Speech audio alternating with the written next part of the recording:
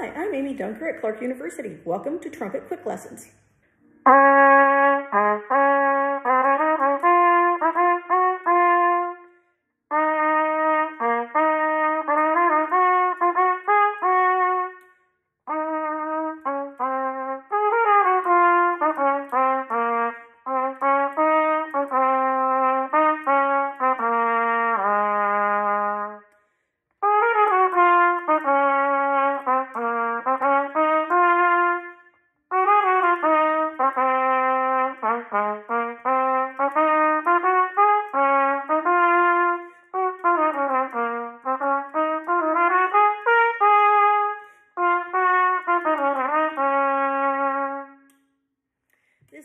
Getchell Second Book of Practical Studies, number 83. It's an allegretto, so it's a fairly uh, moderately fast tempo. Uh, it's got a couple of rhythms in there. You want to look at the dotted quarter eighth and making sure the eighth is exactly where it needs to be placed, as well as the dotted eighth sixteenth. So you want to have one and two and three right there at the beginning. And in the second measure, you want one E and a two E and a three. So you want to make sure those rhythms stay where they belong. Um, you want to watch out for the low Ds, making sure that you get your slides out.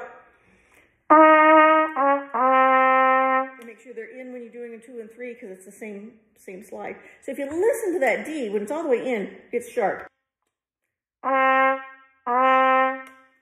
Okay.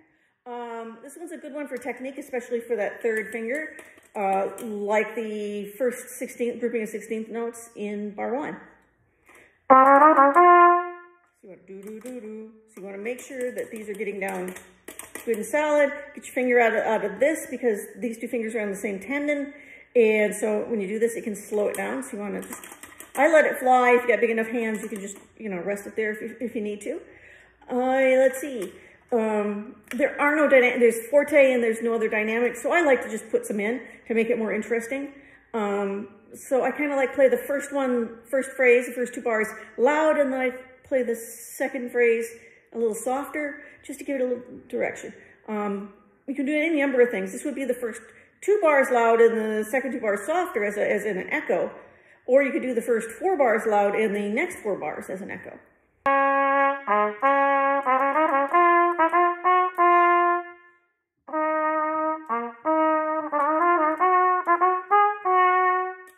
It just makes it more interesting. Um, I'd like to do the ascending pattern in bar in the last line, or second to last line, last measure. That's a great place to do a nice crescendo.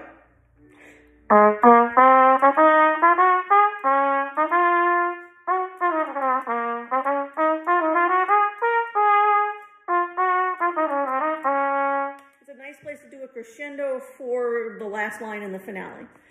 So do some different things musically. You might even want to make a couple of copies of the page and just write in some crescendos and decrescendos in, in different places, some different emphasized notes, and look at and play through your different versions and see what you like and see how many how creative you can be with it.